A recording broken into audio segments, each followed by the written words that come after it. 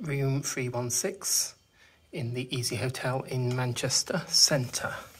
There is a shower by the door and the toilet and the sink. A machine you put your card in.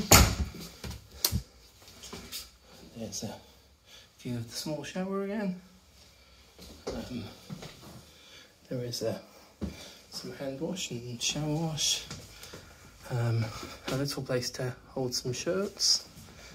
Um, and there is air conditioning and there is a bit of a view but you can barely get there. It's not a bad size for an easy hotel, at least there's a window.